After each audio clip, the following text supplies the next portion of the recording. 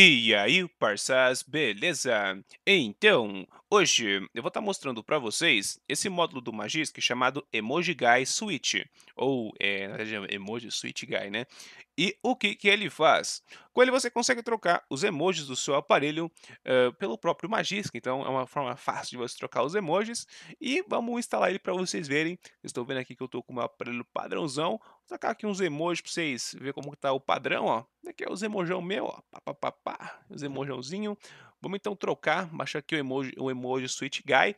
Ele vai pedir para configurar usando os botões aqui, mas a gente já configura. Então, vamos esperar que ele baixar.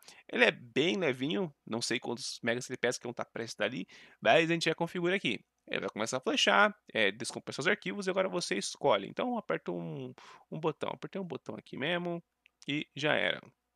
Olha, eu falei, para você instalar, para instalar, é, para instalação, é, aperta o botão de aumentar volume para sim e o botão de volume para baixo para não. Você gostaria de instalar o emoji do Twimoji, né? Acho que é o emoji do, tweet, do, do Twitter, né?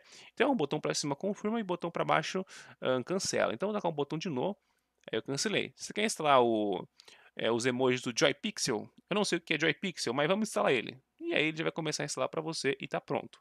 Então, botão de reiniciar, vamos ver como que é esses emojis aí desse JoyPixel. Particularmente não sei, mas vamos esperar. E se você quisesse pegar outro emoji ali, por exemplo, é só você marcar os botões, cara, que ele já vai configurar para você. Então, vamos aguardar para iniciar e ver se os emojis foram realmente trocados. Aparelho inicializa inicializado, vou desbloquear a tela aqui. E tá pronto. Vamos ver se trocou os emojis, ó. Abrindo o panel de emoji aqui. Como dá para vocês verem, ó, realmente trocou. Agora tá com os emojis um pouquinho mais, mais flat. Parece esse pacote de ícones é um pouco mais flat. Mas como deu para vocês verem, os emojis trocaram aqui. E se você quiser desligar os emojis, só você desligar o módulo lá no Magisk, super simples, não tem aí nenhum problema. Então, bem simples de trocar os emojis do seu aparelho via Magisk. O legal de você trocar de jeito é que você não modifica o sistema, cara. Então, é topper. Então, é basicamente isso daí, pessoal. Bye, bye.